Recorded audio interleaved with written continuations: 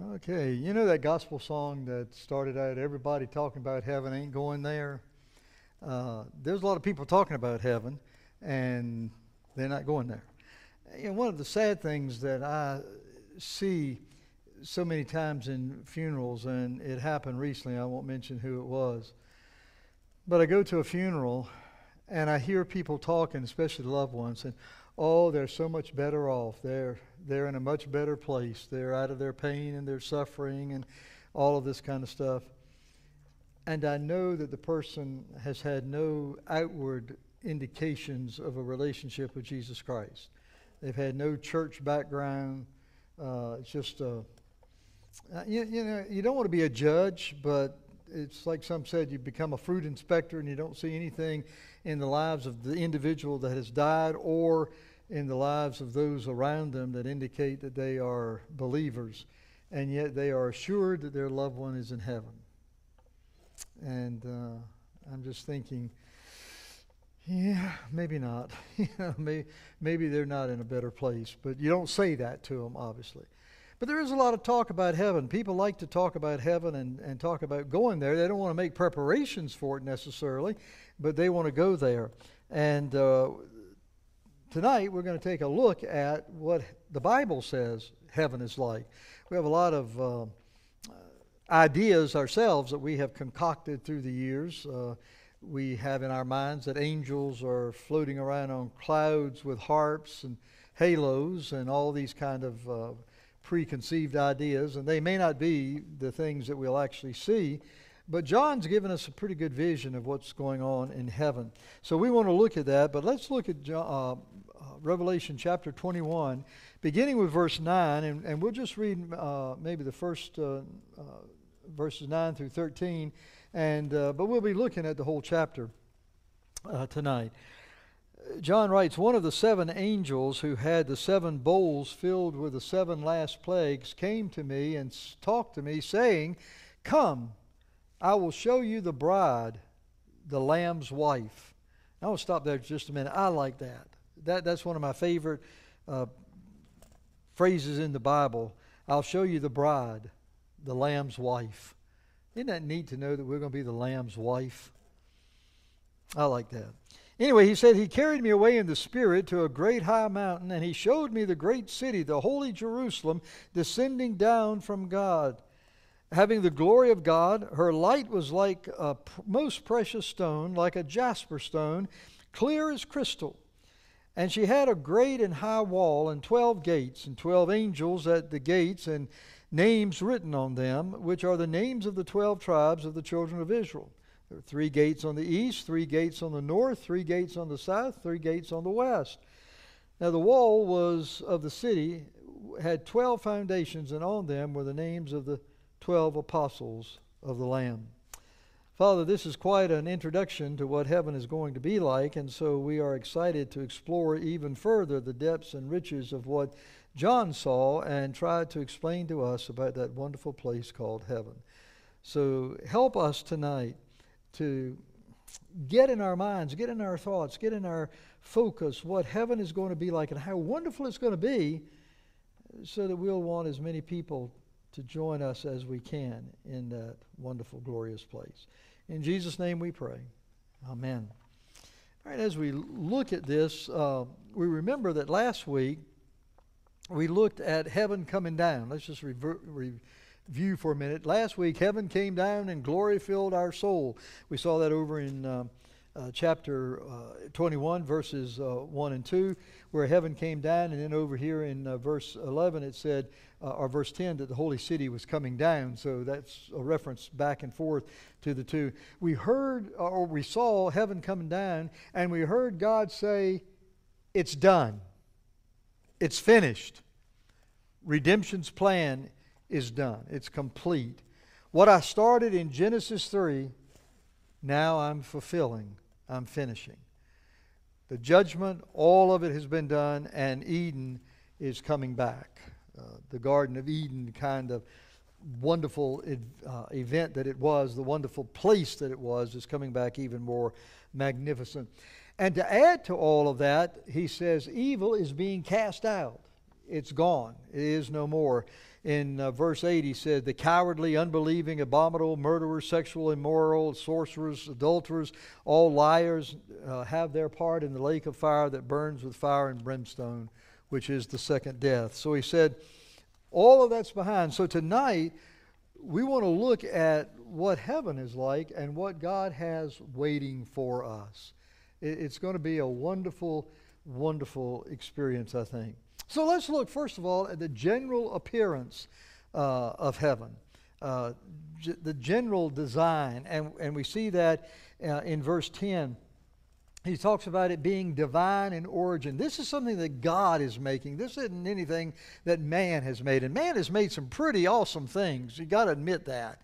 I mean, man is flawed, but he has made some pretty awesome things and buildings, uh, beautiful structures that you see, and you just can't believe uh, the insides of some of these buildings. But this is something that God has done. God did this on his own. And in verse 10, it says that he carried me away in the spirit to a great high mountain and showed me the great city, the holy Jerusalem, descending out of heaven from God. So it has a divine origin coming out of heaven from God. And if we look over in um, Hebrews chapter 11, it says that the builder and the maker of this place is God. So it's no mistake. This is something that God has done. He is the builder and the architect. Now, it's also the eternal throne. Look at verse 11. Having the glory of God. The Shekinah glory of God. Now, the word glory there is doxa, uh, but it's, it's the glory, it's the magnificence of God uh, sitting there on the throne. Just the brilliance, the Shekinah glory, if you please, of God on the throne. And it was a place of radiant beauty. He says, Her light was like a most precious stone, like a jasper stone, clear as crystal. Now, we're going to see jasper mentioned several times in this account. But I want us just to stop for a moment and look at this. It says a jasper stone, clear as crystal. Now, if you look up in the um, dictionary or online now in, in this modern day and look at jasper stone, it says it is an opaque stone, red, orange, green, sometimes blue, and shined really uh, brightly, but um, not something that you can see through and it is of lesser quality than a diamond. That's not what's talked about here because here he says it is a precious stone, clear as crystal. The jasper that's talked about here in the Bible, the biblical jasper, is a stone that was clear as crystal. It was like a diamond. That's the only thing we, if we were doing it today, we'd say it was a diamond when we saw it because it was crystal clear in appearance. Uh, the, so we look at what he's saying uh, that this is like a jasper stone. Let me uh, show you this picture of a diamond. This is supposedly the largest diamond in the world. It is the Koh i Noor diamond, and its price is priceless. They can't put a price on it because of the uniqueness of the diamond and its brilliance. It's part of the uh, crown jewels of Britain, uh, the uh, British Royal Crown, uh, crown jewels. And it is described as the most magnificent gemstone in the world. Now, I looked online, and that was the top largest diamond listed. The next largest diamond was valued at $2 billion. So if you can imagine, and it was substantially smaller than this one uh, is, so if you can imagine a city, a wall, built out of diamonds that are more priceless and more radiant than that. That's going to be something to behold. behold. And the, the walls of the New Jerusalem are going to be just that. He says, made of uh, diamonds. In fact, the whole city is like a, a diamond, uh, like a jasper coming out of the city. Well, let's get a little bit more specific in what he's talking about here in the exterior.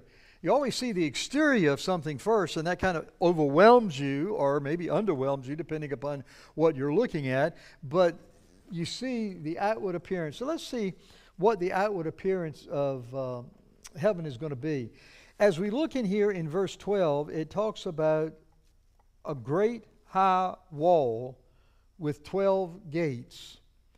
Now, as we look down here, we find that the walls are made of 12,000 uh, furlongs. They're 12,000 furlongs high. We know that it's a cube. We're going to look at that in just a moment. But just follow with me for a moment, and, and as we go, hopefully, we'll explain this. The exterior wall is 1,400 miles high. 1,400 miles high and 216 feet thick. We see that in verses 11 and 12. Um, well, let's look at verse 12. Showed me a great high wall with 12 gates and 12 angels, and the gates were named after each one of them. And he goes on and talks in verse um, uh, 14 and, and following about measuring. In verse 15, he says, he had a measure rod and he it was gold. And he said measure the city and its gates and its wall and the city is laid out square its length and its great as its breadth. And he measured the city with a reed 12,000 furlongs. 12,000 furlongs would mean 1,400 miles. Now he says the length the breadth and the height are equal. So the height of the wall is 1,400 miles high. The length of the wall is 1,400 miles long. The breadth from one side to the other is 1,400 miles long. Now, you probably are really good at figuring this stuff out, but not, not me. I'm a visual person. I have to have something in reference to that. So I did a little bit of uh, uh, investigation and from Graham, North Carolina to Denver, Colorado is 1,614 miles. 200 miles further than the city of Jerusalem is going to be. So if you can imagine how far away Denver, Colorado is, and just go 200 miles shy of that, from Graham to um, Colorado is the length of the wall, and the height of the wall, and the breadth of the wall. Now, the thickness of the wall is 216 feet, and that's what I was trying to figure out here. But I got a problem. The church isn't helping me out a bit. Because I thought, surely this is 100 feet, but it's only 50 feet from one wall to the other wall. I need 216. If I go from the front, from the back of the church all the way up to where the screen is, that's about 80 feet. So I'm still a long way from being 216 feet. But maybe that gives you some kind of idea of the width of these walls to support a wall that's 1,400 miles high. And these are going by what the, a furlong is equal to 660 feet, and um, the cubit is 18 inches. It's usually from the tip of your hand to the elbow of a man. And it says by a man's measure, that is an angel. So uh, most likely it is the regular 18 inch uh, cubit that is listed here. So that's what it's like. And it says that each gate, it has 12 gates, three on each side. You would need at least three, wouldn't you? If you got a 1,400 mile gate, that's a long between gates on each side. But it's got three gates on each side. Each gate is named for a uh, one of the apostles or, or, one of the 12 tribes uh, of Israel. And uh, each gate is a single pearl. We see that over in verse 21. The 12 gates were 12 pearls. Now, I didn't look up what the largest pearl ever found was, but I'm sure it's not as big as a city gate. If you've got a wall 1,400 miles high, you're going to have a pretty high gate in there. Even if it's just six foot high to get in, uh, that's a pretty good sized pearl. and each one is a single pearl. And as he's talking about the dimensions here, th- those were the general uh, dimensions of the general design. The dimensions are listed in verse 16. The city is laid out as a square, its length as great as its breadth. And so it's a cube. It's as high and as long, and, and we see that down in a little bit further. He measured the city with a reed, 12,000 furlongs. Length, breadth, and height are equal. so it's uh, 1,400 miles anyway around that you look at it. And it says, just to give you kind of a perspective here, some people say, well, I don't know if heaven's going to be big enough for everybody. I mean, if everybody in the world is saved, is heaven going to be big enough? Well, to give us some perspective, if the city of Jerusalem was laid out on earth, it would reach from Canada to Mexico, from the Appalachian Mountains to California. That's a pretty fair sized city, don't you think? And with the walls 1,400 miles high, if each story was, let's say, 12 feet high, that's a pretty high building. Uh, that's, that's pretty good height ceiling there. If every story was 12 feet high, heaven would contain 600,000 stories. I don't know about you, but if the elevator ever ran out, I don't think I'd want to live on the 600,000th floor. That'd be a lot of steps to climb, wouldn't it? Be a good thing we're in our uh, eternal body that we can just, you know, transfer wherever we're going. But 600,000 stories. Now, I did a little bit more research, and um, the tallest building in the world is in Dubai. There's a picture of it. I don't can't pronounce the name of it, but it's in Dubai and it only has 193 stories. It's a wee little building compared to what the New Jerusalem is going to be. It's going to be a pretty impressive place. And uh, I, I, did do some uh, research. I'll, I'll, give you this. It's not that uh, big a thing. The gates of pearl, the largest pearl ever found was 61 pounds, and it was only 15 inches. I think the pearl on the gate is going to be a lot bigger than that. God can do anything. God can do anything. So, that's the exterior. Pretty impressive, I would think, as you're approaching the city gates of the New Jerusalem. Well, what's the interior character going to be? We see uh, the um, general characteristics that are in the New Jerusalem. The streets, he says in, in verse 21 the streets are pure gold. The latter part of verse 21 the city the street of the city was pure gold like transparent glass.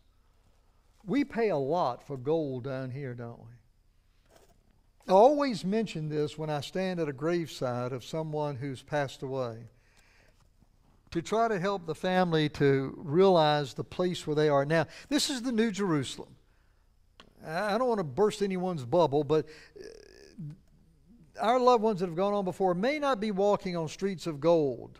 It may be silver or brass. I don't know. I don't know what they're walking on exactly. This is the new Jerusalem. This is the new heaven and the new earth that comes after the millennium when all things become new. I know that where they are is with Jesus because Paul said to be absent from the body is to be present with the Lord. And that's enough for me even if it was just dirt roads, and I don't think it's dirt roads where Jesus is, but to be with Jesus. So they are in a wonderful, special place. But this is the place that we're all going to be, where the streets are made of pure gold and there are no potholes.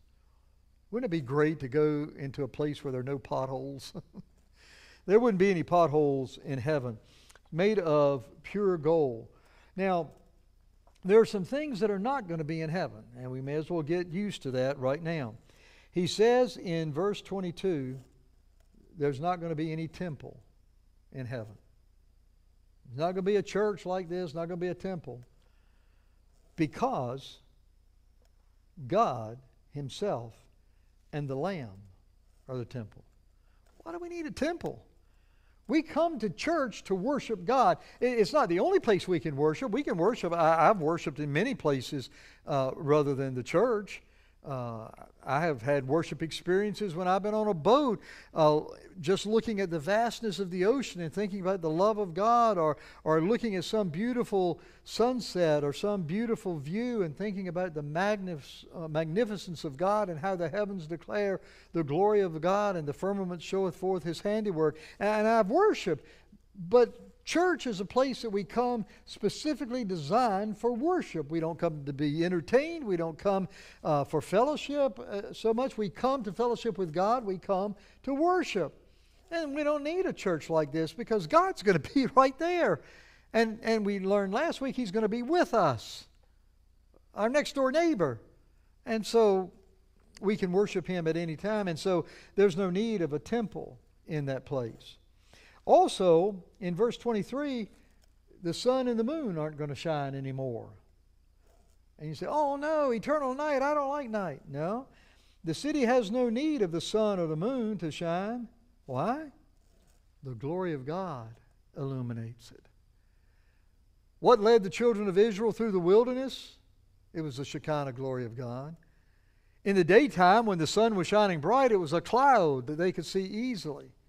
But at nighttime, when everything was dark, it was a pillar of fire that lit up the outside world around them. That they could look out their tent door and they could see the presence of God in their midst. God's going to be there, and it says the Lamb is going to be the light. And if you look over in John's gospel when John was writing in John 8 12, he said, Jesus said, I am the what? Light of the world. He is the light, and He's going to light the world. And all the nations who are saved, he says in verse 24, shall walk in its light, and the kings of the earth bring their glory and honor into it. So there's no moon or sun there because God is the light. There are gates, we've already talked about the gates of pearl, but in 25 it said, Its gates shall not be shut. We're going to have gates in the city that are never shut. Now, I thought it was interesting when I went to Israel on one of the occasions I went. They were talking, I think it may have been the first time I went, about how important the city gates were, and everybody lived inside the city. They would work perhaps outside the city in their fields and all, but at nighttime they came in and closed the gate. And the city of Jerusalem got to a place where it was just too crowded. They could not contain all the people that were living in the city of Jerusalem. And so the city fathers, the, the leaders, decided to develop and build apartment buildings just outside the city walls. And they sold them to the residents at very little cost to them. And so they moved in by droves and they filled those apartments. But guess what? When it got to be nighttime, they packed a little overnight bag and they came back into the city because they felt safer and they would live with family or loved ones or na- you know a neighbor friends or somebody that they had lived next to. And, and, they would live in the city.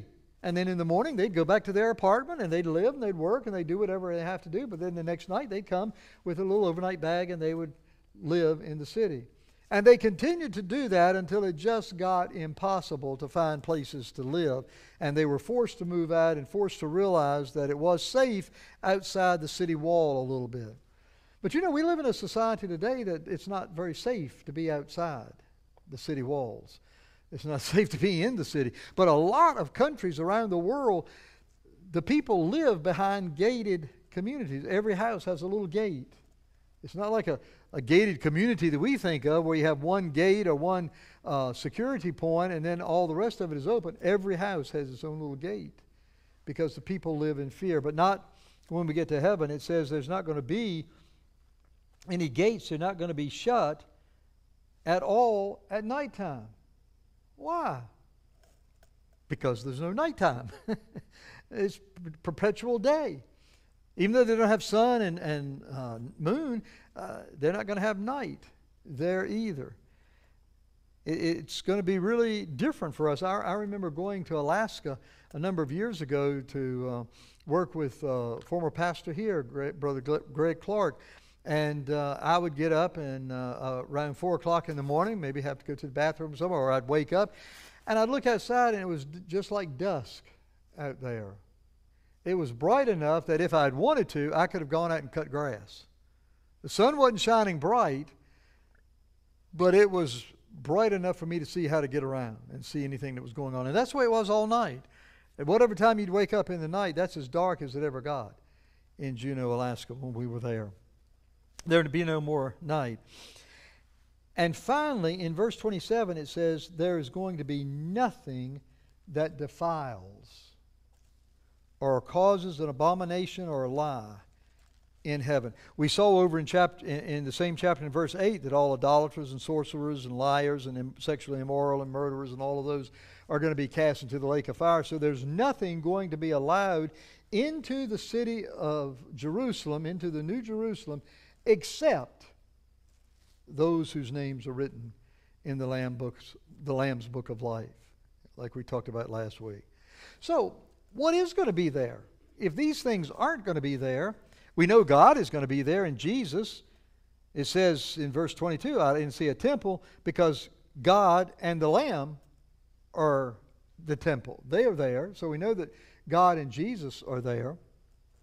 We know that those who are in the Lamb's book of life, we're going to be there because it says here, those who are written in the Lamb's book of life.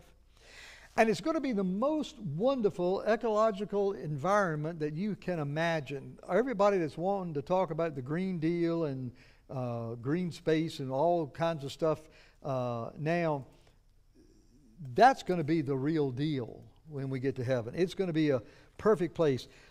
Let's look down in verse 20, in chapter 22 for just a moment and kind of get a glimpse of what it's going to be. It's going to be a pure river, crystal clear. And I've been to Jamaica, and I, I, fly in over Jamaica, and you can look down and see the bottom of the water, uh, the, the, the bottom down there, and what's in the water. You can see the fish. Crystal clear there in the Caribbean. Beautiful. Not like the Haw River. I, had some people ask me if we baptized in the Haw River. I said, not on your life. Maybe somebody in the past did, but I'm not getting in the Haw River uh, to baptize anybody. Um, it's going to be a pure water of life, crystal clear. It's going to have a tree of life. Remember, Adam rejected the tree of life in Genesis. He chose the knowledge of the, the tree of the knowledge of good and evil. But here, there's going to be a tree in the middle of it, right on either side of the, the river, and it's going to bear 12 fruit, a different fruit every year, or every month. Every month it's going to have something different on there. And the leaves were for the healing of the nations. Not going to be any sickness, any problems, any difficulties. It's going to be a perfectly beautiful tree. And one of the greatest things in verse 3 of chapter 22, there's no more curse. Remember, God cursed the earth in Genesis chapter 3? He cursed the earth. The new heaven, the new earth not going to have any more curse. But God and his and the lamb are going to be there and we're going to serve him. And the greatest thing I think about heaven is in verse 4, we're going to see him face to face. They shall see his face and his name shall be on their forehead. We'll have the ownership of God and we'll see him face to face. Fanny Crosby wrote that song, Face to Face, I Shall Behold Him. Somebody asked her one time, How are you going to know when you see Jesus? You've never seen since you were a little child. How are you going to know? She said, I'll recognize him by the, hand, the nail prints in his hands. But she said, I'll see him face to face. And we will reign with him forever. So, with that, as a background, what do you think of heaven? Pretty nice place, don't you think? Pretty nice place to go to. And so we need to be making our reservation now. I think Jesus is calling us to make sure our reservation is secure. And I trust that all of us have. But he's wanting us to invite others and to help make others' reservations sure. There's nothing any worse than calling for a reservation when you go on vacation and traveling for a number of miles and getting there and finding they don't have your reservation. They don't have you listed. It was a wrong motel, or you made the reservation at X and you're wanting to stay in Y and it's in the wrong place. That's a bad position to be in. But it happens. Jesus said, Don't let that happen. I want you, I want the world to be saved. I'm not willing that any should perish, but that all should come to repentance. And heaven is big enough for everybody. He designed it with 600,000 stories, 1,400 miles wide, long, and high. There's plenty of room, and we're not going to be cramped with somebody living right up next to us that we have a little cubicle to stay in. We're going to have plenty of space to worship God forever. And He wants us to do all that we can to reach others for Him. Let's pray. Father, you have painted such a picture of heaven that I think most all of us long to be there. Oh, it's so much better than here. There's no sickness, no pain, no disappointments, no sorrows, no aging. We all know what it's like to have aches and pains and things that slow us down. They're not going to be there in heaven. You're going to be there, and we're going to see your face day in and day out. Just like the children of Israel could look out their tents and see the Shekinah glory, see your presence, whether it be in the form of a cloud or a pillar of fire. They could see your presence anytime they looked up. We're going to be able to do that as well. And there's plenty of room for our family and our friends. In fact, we may get lost if we don't get busy and get family and friends and loved ones saved. And introduce them to you so Holy Spirit can grab their hearts and lives and save them. Give us that passion, Father, that desire to tell other people about you. And, and this is the greatest time of year to do that when people are talking about gift giving and buying stuff for other people. What greater opportunity do we have to say, well, I tell you, the greatest gift in the world is absolutely free, and that's the gift of eternal life. Have you made your purchase and accepted that gift today? Father, help us to be about your work, your business in these days.